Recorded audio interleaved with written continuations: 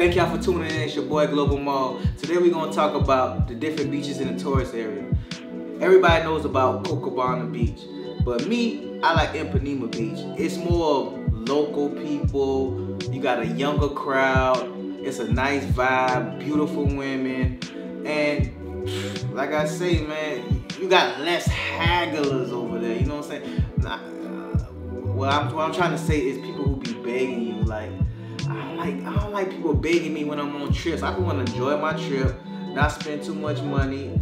I mean, I don't mind spending money on things I like to do, but I'm, I'm tired. I'm tired of going from country to country and everybody just wants something from you, you know what I'm saying, without doing anything from you. So I recommend you go to Ipanema Beach, you know what I'm saying.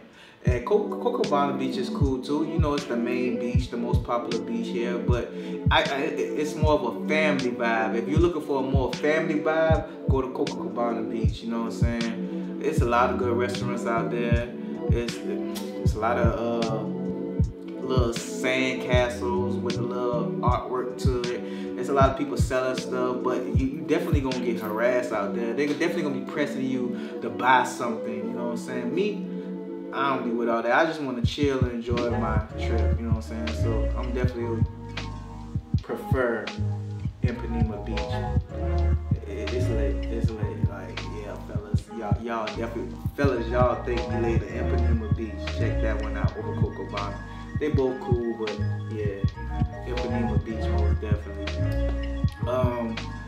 Oh, it seems like a lot of people are in shape in Brazil. Like for y'all, for y'all fellas, I think y'all need to go ahead and get your body right before you slide down here. You know what I'm saying? Cause yeah, them women are definitely in shape. I see more women in shape than out of shape women. Even the dudes, even the dudes be looking good. They be in shape too. It. Niggas rocking around here with eight packs and all that. I'm like, damn, that's motivation. I gotta get in the gym, you know what I'm saying? And they definitely say you wanna be in the gym before carnival come, cause everybody gonna be outside swinging. So shit, yeah. Yeah, so you ain't gotta worry about seeing too many out of shape people on the beach, you know what I'm saying? You, you see some sexy things out there, most definitely. But yeah, but that that's my intake on the beaches around here. Now the city, the city is lit. Like Rio is lit. Like I recommend you come out here. Like according to what you like to do, I know what I like to do. I like to party. You know what I'm saying? I like to party. I like to eat good. I like to meet new people. I like to go on tours. I like to eat. Hell, I even like gym hopping, like going to the gym. I love working out. You know what I'm saying? So in the area I'm staying is in Ipanema. I'm staying. I like to stay at um, Tiffany's. It's like a, a, apartment hotel. You know what I'm saying? And it also is guest friendly for y'all boys that like to bring. You know what I'm saying? Your guests with you, chicks, your your pros or whatever you want to call it. This, this is a good building for that. That's another thing I need to talk about. A lot of these places out here won't let you bring any company or any guests like that, especially with this COVID thing going on. So you want to make sure before you book your place to stay that you find out if it's guest friendly, that you can bring a chick or even a guest period. Because a lot of people ain't allow on that. But yeah, the area I like to stay in is Ipanema. You know what I'm saying? It's a lot of restaurants. You don't have to worry about a restaurant, finding a good restaurant to eat at. You don't have to worry about a grocery store. I, I even seen a 24 hour grocery store. You know what I'm saying? So definitely, definitely check out Ipanema. And it's like, it's a, it's a road. It has plenty of shopping. I don't know it's the exact name of the road, but it's like maybe two blocks away from the beach. So you, you definitely have a lot of places to shop at. And I recommend that you get like a, a SIM card for the country, like Claro. You go to Claro, you get your SIM card so you can um, call when you want to, make all the little calls you need to make, you know what I'm saying? Because most phones don't work out here. Uh, if you got Verizon like me, the Verizon gonna charge you ten dollars a day. So I recommend going and get you a SIM card while you're in the area.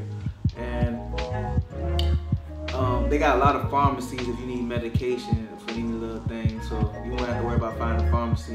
Now ATMs, they have a lot of ATMs, but they don't really take certain cards. Like I bank with like Navy Federal, Wells Fargo. Some places, a lot of places didn't take that, so I had to find a Pacific ATM to pull and withdraw money out. So that's another thing. I recommend before you get here, you let your bank know that you're going to be here so you your cards can actually work so you won't have to run into no mishaps.